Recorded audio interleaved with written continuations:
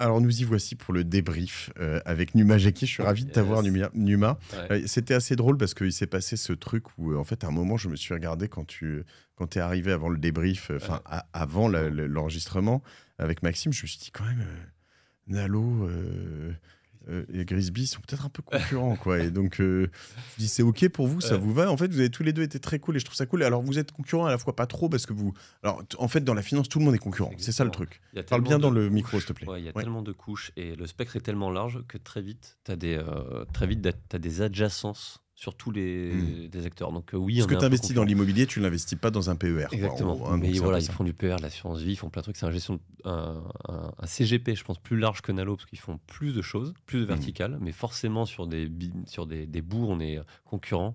Et je t'ai dit qu'il y a zéro souci, euh, évidemment, que je parle de, après Maxime. Pour moi, la manière aussi dont je vous ai identifié au début et les différences, c'est vraiment cette approche très goal-based investment chez vous, Mm. euh, qui est un peu euh, voilà l'investissement par objectif, qui est le propre euh, euh, de Nalo et qui Ouais. permet de clarifier la manière dont tu vois tes investissements euh, euh, selon euh, Exactement. ce que tu veux faire. Donc, euh, Et on a eu un angle où on est plus parti sur de la technologie, tu vois, sur une enveloppe fiscale très simple, l'assurance vie. Et Grisby, euh, ils font super bien leur métier. Ils taclent beaucoup plus de vertical, on va dire. Donc on en fait moins qu'eux. Et peut-être qu'il y en a un peu plus de tech chez Nalo. Mais, mais en tout cas, il y a zéro souci. En tout cas, je suis plaisir, avec plaisir d'être là. Bon. Euh, moi, je suis aussi ravi euh, de t'avoir, Numa, pour parler un peu de ce, ce débrief. Mm. Donc, private equity, qu'est-ce que tu en as pensé? Bah écoute, j'ai trouvé, malgré que Maxime soit concurrent, mais je t'embrasse encore Maxime. Donc c'était un- une très bonne revue, je pense très détaillée, de tout le spectre du, du private equity, parce que justement la difficulté c'est que private equity c'est très large, et j'ai trouvé que sa définition en fonction du stade d'avancée de l'entreprise, euh, des entreprises qui vont pas bien, le, le distressed, on je ne sais pas si vous l'avez évoqué, mais Mm. voilà, les, les entreprises en difficulté, celles qui sont en forte croissance, euh, vous en avez cité plein, Oui, le Euh, retournement, le distress, ouais, c'est ça. C'est exactement. vraiment acheter des. Ça, c'est vrai, on n'en a pas parlé. Mais les c'est- actifs, voilà, en Ouais. deux mots, c'est les actifs décotés. Ouais. Donc vraiment quand la boîte va pas du tout bien, elle est peut-être au bord de, de, la, du dépôt de bilan et que acheter des, des actifs très peu chers et les remonter, un peu comme en immobilier, on achèterait, euh, voilà, on ferait de l'achat-revente avec un terrain tout pourri, Mm. construire quelque chose ou un appartement pas ouf et en mettant du placo et, et, euh, et une gaine électrique et en vendant derrière. Je schématise évidemment, mais le distress, le LBO avec une boîte qui génère des cash flows, le venture capital pour des boîtes au tout début euh, et le growth. Donc ça, c'était euh, c'était super clair ce que j'ai trouvé. Et moi, ce que je voulais faire avec toi en, en une minute, c'est euh, bah, récapituler tous les risques. Comme c'est très compliqué, vous en avez cité plein. Donc si je synthétise, c'est ce que je voulais faire, les risques. Alors il y en a un dont on n'a pas parlé. C'est que vous l'avez dit, ça s'adresse pas à tout le monde, le private equity. En général, tu commences pas par ça. Mm. Euh, mais ceux à qui ça s'adresse, en général, il faut qu'ils connaissent euh, ce qu'on appelle le cercle de compétences, que ce soit des particuliers ou des fonds.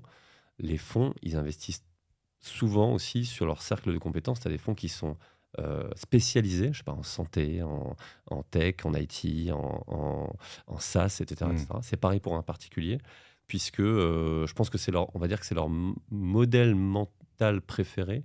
Puisque sinon, si tu commences à investir trop, alors ça va à l'inverse de la diversification, mais tu as des angles morts. Et en général, voilà, il faut être assez spécialisé quand tu as un, Oui. fonds, de, un fonds de PE. Que ce soit, tu Mm. dis la santé ou le Web 3, euh, N'importe faut quand même connaître. Donc, tu as une thèse d'investissement et tu Ouais. vas voilà, essayer de chercher un peu la thèse et, et de suivre ta thèse, toi. Exactement. Donc, et quand tu es un particulier, tu es tenté de. Voilà, comme c'est très très large et tu peux investir, euh, et que le non-côté, euh, c'est un océan immense, peut-être que. Alors, ça va à, à la- à l'inverse de, de, de l'objectivité. Il y a un peu de subjectivité, mais commencer par des choses que tu connais. Tu sais identifier euh, financièrement, tu sais comment euh, marche un restaurant. Il faut, voilà, euh, il faut euh, euh, trouver un endroit pas trop cher, déterminer combien tu vas te payer tes cuisiniers, tes, cui- tes, euh, tes- tes Mm. salariés, la marge que tu vas faire et à partir de quel moment c'est rentable. C'est un exemple très basique, mais commencer par des, des- des- des sociétés que tu connais, c'est le premier conseil. Il faut aller regarder ce qu'il y a dans le fond. En fait, quelle société il peut y avoir Bah, en fait, en quand, connais. alors, bah, quand je parle des, des professionnels, eux, évidemment, ils savent comment ça marche. S'ils investissent dans, dans, euh, dans Orso, ils vont pas faire la même manière que s'ils investissent dans, le- dans, les, dans, dans la santé. Mais effectivement, quand tu es un particulier, peut-être regarder un peu ce qu'il y a dans le fond. C'est c'est une bonne chose. Ça me mène au deuxième point qui est la transparence et le droit à l'information, qui sont plus limités dans le private equity que dans, le, que dans les investissements cotés en bourse. Forcément, t'as- ils sont pas soumis au, me- au même, euh, au même niveau d'information publique. Et donc, en fonction de est-ce que tu es en direct, est-ce que des infos, etc., tu auras peut-être moins d'informations. Les liquidités, vous en avez parlé, ça c'est quand même un point vachement intéressant. Il faut se projeter très long terme. Mmh. Ce n'est pas un coup euh, en six mois, ni en un an, ni en deux ans, c'est plutôt 5 à 10 ans. Donc c'est important que les, les auditeurs aient, bien ça en tête. Euh, le risque de perte et de volatilité, bah, il est plus important. Euh, forcément, on l'a détaillé en distress avec des actifs qui vont pas bien, forcément c'est le cas. Dans le venture capital, forcément c'est le cas parce que tu commences au, très très en amont. Donc le risque euh, est, à mesure de la, du potentiel de gain, donc c'est-à-dire assez élevé. Euh, la concentration, vous en avez parlé, euh, c'est un point, un point aussi important. Il y a des fonds qui s'est diversifiés en termes de géographie, d'industrie, mais c'est jamais aussi facile que sur la bourse. C'est beaucoup plus mmh. facile de créer un, un, ETF, un tracker, qu'un fonds très très diversifié. Euh, et finalement, les facteurs économiques aussi qui sont liés. Euh, qui Parce que la bourse, tu peux automatiser l'achat, la vente, hein, en fonction des cours, des choses comme ça, de mm. plein de trucs. Donc tu peux faire des, des portefeuilles quasiment. Enfin, ça se fait, c'est automatisé, ce sont des algos. Quoi. Exactement. Euh, là, tu peux pas automatiser puisque c'est pas facile. Tu peux pas rentrer chez Cosa Vostra ou sortir, tac, tac, tac, tac, c'est ce qu'on a expliqué. Et, et, avoir une grille, un logiciel d'automatisation de l'allocation euh, sur le marché non coté. Par définition, c'est pas possible puisque c'est pas coté. C'est pas dans c'est pas dans un, carnet d'ordre qui est disponible soit en API, soit soit sur les autres systèmes d'information. Et ce qui explique un peu les coûts. Ce que disait Maxime, forcément, c'est pas pour les gens qui aiment pas les frais. Il faut un minimum de frais parce que derrière, tu as quand même des analystes. Il y, a un truc qui, y a un truc qui me fait toujours un peu peur, mais je me trompe peut-être. Euh, c'est qu'on a des noms qui reviennent dans cet épisode, hein, mm. de, fonds, etc. Et souvent, je me dis, mais quand on a des fonds qui reviennent, des noms de fonds qui reviennent, c'est que leur perfil l'ont fait. Tu vois, quand tu es en haut de ta crédibilité mmh. et tout ça, on te dit, ah, je vais pas les reciter parce que là, c'est pas gentil ce que je dis, mais, mais tu vois ce que je veux dire, c'est de dire, en fait, euh, c'est quand même arrivé par le passé quand tu es euh, top mmh. of the game, qui est celui dont tout le monde parle, euh, mmh, tu n'es plus le new kid on the block. Après, c'est vrai que c'est aussi des. que en, finance, les banques, banques privées, banques d'investissement, c'est aussi des institutions centenaires. Rothschild, ils ont plein, hein, que ce soit Edmond ou Rothschild en direct. Et ça fait 150 ans qu'ils existent. Euh, Société Générale, ils ont été créés au 19e siècle. Donc... Mais c'est pas ceux qu'on a cités dans cet épisode. Non, c'est vrai. c'est vrai que c'était. C'est peut-être pas ceux qui font les meilleurs perfs. peut-être pas ceux-là, mais, euh, mais c'est vrai qu'en tout cas, pour certains fonds, il n'y en a pas énormément. Vous avez cité les, les, fonds datés, etc. C'est qu'il y a deux, trois acteurs à chaque fois. Euh, il faut le citer. Et une chose que vous n'avez peut-être pas citée, là, c'est quand on entre dans l'arcane, donc on a dit LBO, VC, etc. Si on ouvre la boîte VC, il y a aussi des choses qui, sont de l'ordre plus du juridique, qui sont parfois très difficiles à percevoir pour un particulier qui investit en site dans une boîte. Je crois que tu en, as, parlé dans d'autres épisodes qui sont, par exemple, la clause de liquidation préférentielle. Alors, c'est un truc très précis, mais pourquoi j'en parle?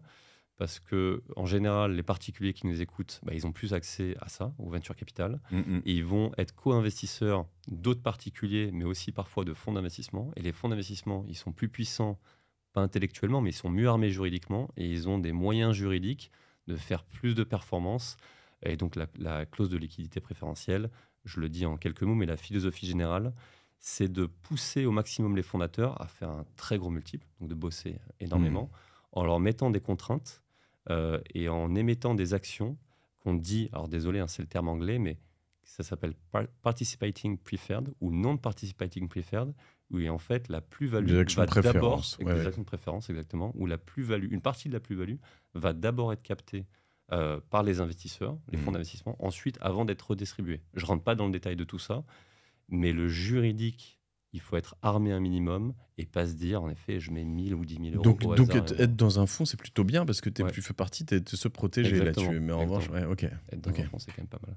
Donc voilà, un peu, euh, j'ai trouvé que c'était quand même un, super épisode à réécouter. Euh, il brasse quand même une, un portrait très large euh, de ce qui existe et voilà et tous les risques. Je me suis dit que c'était bon de les récapituler en, fin de, en fin d'épisode. Voilà ce que j'avais. À réécouter avec ce débrief inclus parce que je le trouve aussi très très pertinent. merci Numa et, et, je le trouve très